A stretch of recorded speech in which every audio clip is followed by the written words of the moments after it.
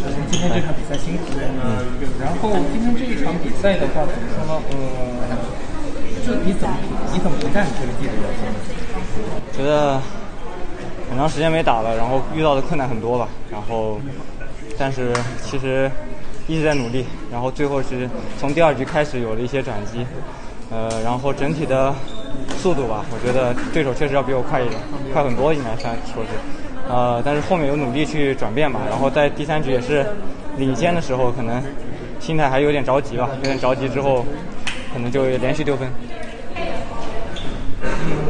对，就第三局的话，其实在你最后那个最后那个地方之前啊，其实就你你你是先在落后的情况下，然后打出一波反击，那个怎么反击？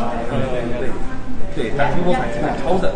然后这个阶段，其实你当时你是怎么样调整自己打我觉得首先就是要跑得更快一点，然后我觉得呃从一些思想上吧，我觉得简单一点，不要想的太多，把整个整个这个过程做好吧，因为当时已经落后了，然后也是你不需要想太多，努力去一分一分打好，我能多拿一分，能追一分就就很好。我们之前采访另外几几位选手的时候，也是注意到，就是说二号场的话，其实是有场地的风向的。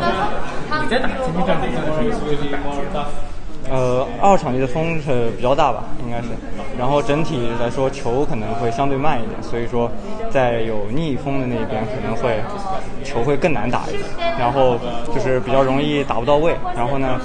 而在顺风那边可能容易自己失误。这一次你的世锦赛之旅你是怎么总结这这这一次？我觉得现在打完了，然后先，我觉得先好好总结一下今天这场失利的原因吧。然后我觉得还是要从呃前两场，包括这一场，自己的一个状态是怎么从从差到慢慢的有调整到变好。我觉得这个过程需要总结。然后接下来的话还有日本公开赛，然后日本公开赛之后你还会继续参加比赛吗？有什么参参赛计划？呃，具体参赛计划可能还是要听一下大部队吧，我觉得看大部队的行程。